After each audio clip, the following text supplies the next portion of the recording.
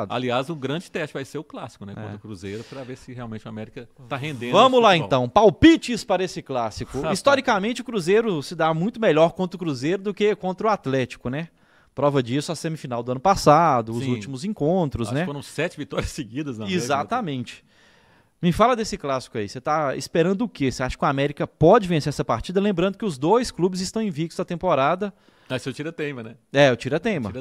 Embora o Cruzeiro tenha um jogo antes, Uhum. difícil também contra o É, Patrocinense. exatamente. mas- Talvez quando a pessoa é, ouça esse podcast já tenha acontecido o jogo do Cruzeiro é, É. na sexta-feira, né? Ouça ou veja, né?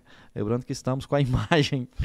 É, você acha que o América pode ganhar esse clássico? Seu palpite para esse clássico aí? É, vai depender muito da formação do time que vai mandar campo. Se for um meio campo sem muita pegada, sem muita marcação, eu fico até um pouco receoso e preocupado, porque já contra o Itabirito, por exemplo, a América tem muitas dificuldades, né? A marcação ali não estava encaixando, mas se de repente o Cauã de Almeida encontrar uma, um esquema onde que funcione o Moisés um pouco mais recuado, de repente o, o Juninho, de repente entrando no segundo tempo, Felipe Azevedo fechando ali no ataque, porque aí você tem o Felipe Azevedo é, ao invés do Fabinho, né? Embora o Fabinho tenha jogado muito bem, mas o Felipe Azevedo cumpre a função de ajudar na marcação também É, no meio campo. Ele recompõe, melhor. É, ele recompõe muito ele bem. recompõe melhor e, e tem se dado bem jogando também contra o Cruzeiro, né? Fez grandes partidas. Uhum.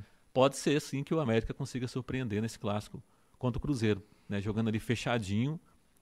é, ou então, de repente, ele propondo o jogo, né? Vejamos qual vai ser o comportamento também do América. Você vai sair para se partir para cima do Cruzeiro, você vai ficar aguardando o Cruzeiro e deixar que o Cruzeiro é, tenha a proposta de jogo, né? Sendo um time mais insinuante ali para controlar a partida. E aí o América pode tirar proveito. É, e deve ser um jogo muito difícil, até pelo cenário que vai se criar, né? O Cruzeiro joga nesse fim de semana, mas é carnaval, a venda de ingresso não tá muito boa.